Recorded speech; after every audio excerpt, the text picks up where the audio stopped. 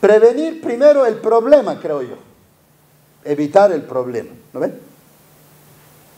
Porque ¿qué es antes, el conflicto o el problema? El problema. Pues. Si evitamos el problema, por supuesto no va a haber conflicto.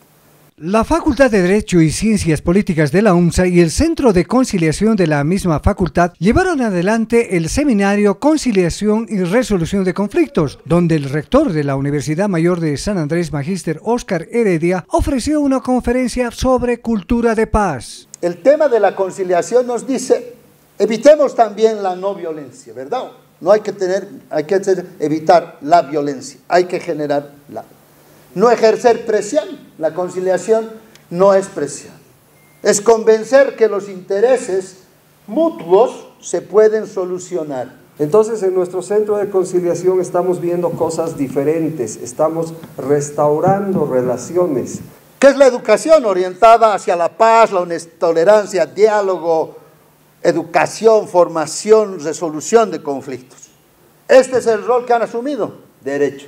Y por eso hay que dar un voto de aplauso a la facultad y a sus autoridades. Aplaudamos pues a nuestro trabajo. ¿No?